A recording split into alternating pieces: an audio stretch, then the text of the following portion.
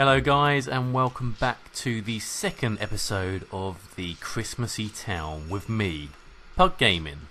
Now, in episode one, we got the main core down, we got the streets down. We started on the main town, started actually with the church, which came across and worked really well in the end.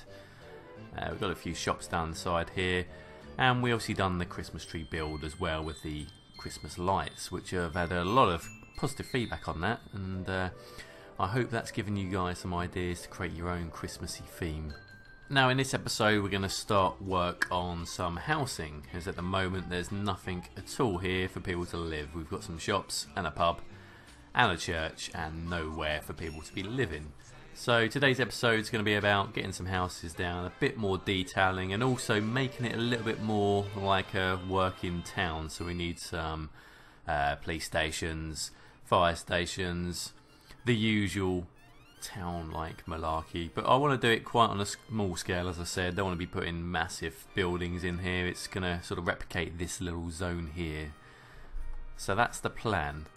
And obviously, the first plan that needs to be implemented is getting power to this area. So I had to make a decision on how I was going to do so. It's either build outside of the zone of what I'm building, a power plant of some description, and bring a long power source, uh, well, power line into this area. But I thought to make it more realistic, we'd done some wind turbines on the top of the hill and we brought the power down there. Eventually, once I have built up the hill, the other housing estates, we can get rid of the ugly uh, looking power lines and put in the um, more British style ones, which will work much better. So once the power side of things was sorted, we then needed to get some water to this little town village area. So I just put down some uh, pumping stations just outside the map and just brought the pipes in really. Just wanted to keep it all out of the way. We can obviously add some detail of other parts a bit later on if needs be, but for the time being, I want to keep that sort of that sort of area uh, clean of uh, of these sort of things.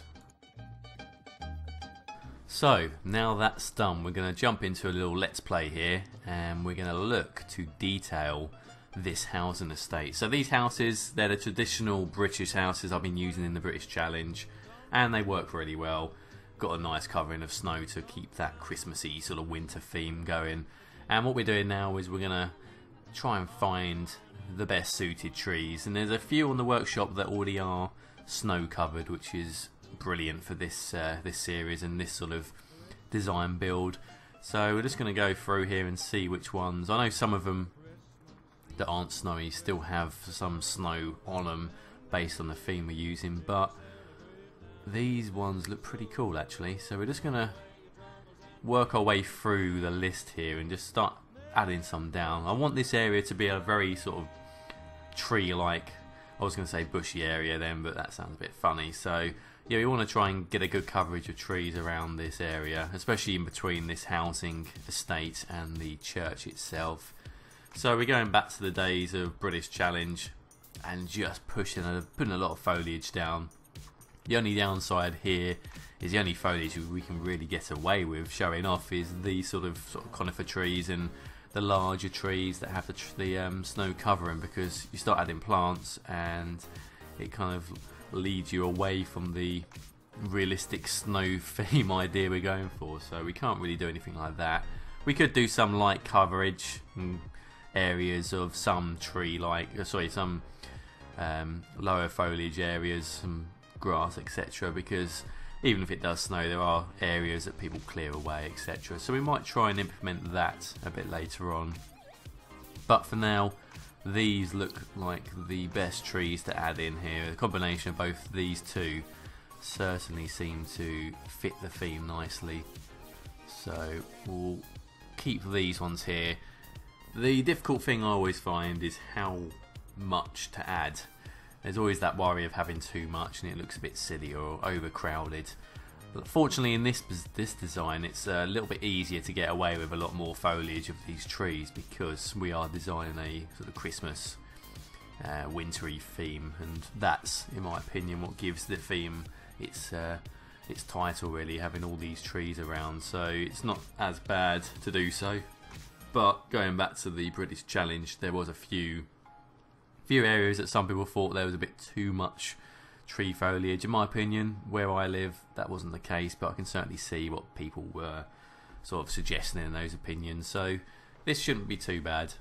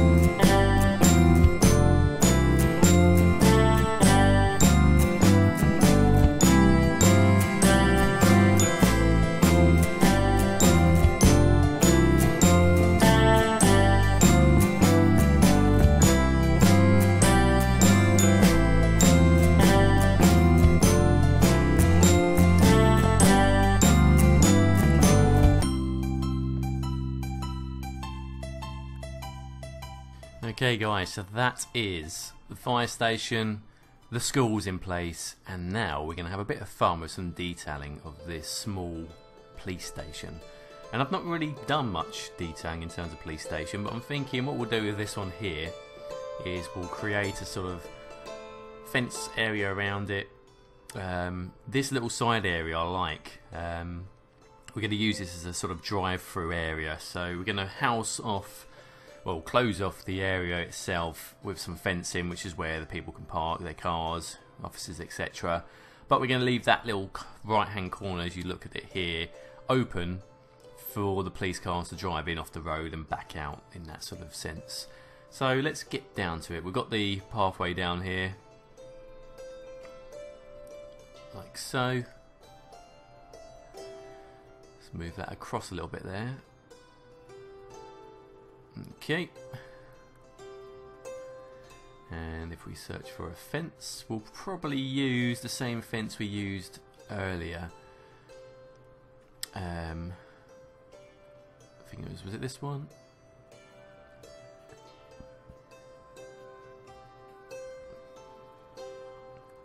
So I'm not sure whether we can go all the way across here and have a little entrance or if that's going to look a little bit too too enclosed.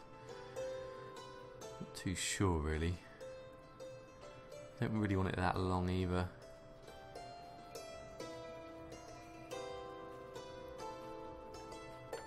Just want to give the idea here of um, the police station has its own sort of car park at the back for people to park, etc., rather than just a, a, random asset. Which is what I love about the game, to be honest.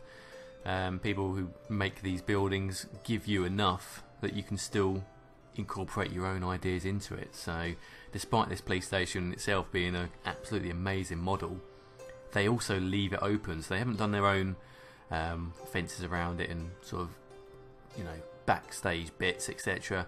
They've left it open for you to do so. I know some some props and assets do have a finished solution, as I like to call it, but there's always room for improvement, in my opinion, or not so much improvement, but room for your own imagination to be included within that.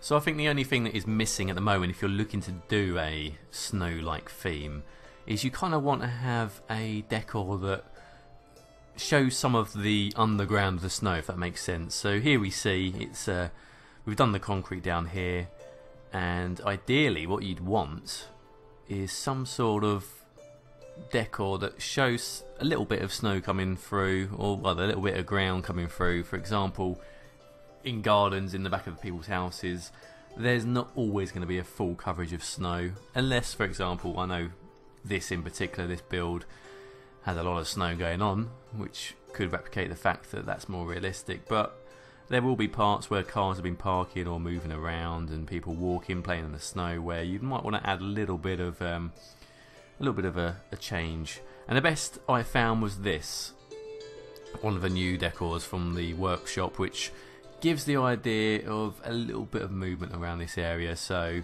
in my eyes, it comes across like a car has been moving around here. Obviously, the hot engine itself has been melting some of the snow. So it's not perfect, but it kind of replicates what I'm trying to show. And basically, I'm trying to show that this is a drive-through for the police.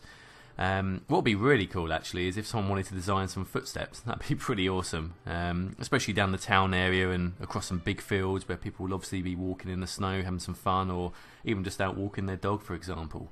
So having something like that would be really awesome. Just plopping a few of those round, or just something to make the snow look a little bit more um, realistic. In my eyes, it's a little bit too solid in terms of its colourage. Um, and I know that's how all of these decors started. To be honest, we um, had all these before these in the workshop. Everything was a little bit, a little bit too solid. I guess is the best way to describe it. And then as soon as these decors were created by these amazing people in the workshop, that's when we was able to make things look a little bit more realistic and a lot more well lived in I guess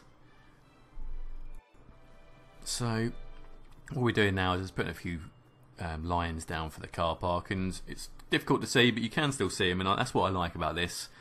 Even though the snow's there some of these um, some of the props do still give that lovely feeling that you know the snow is covering it, but it's still there, which is what I really like, and that's kind of what I'm trying to get at with the um, the missing decors, in my opinion, on the on the workshop itself.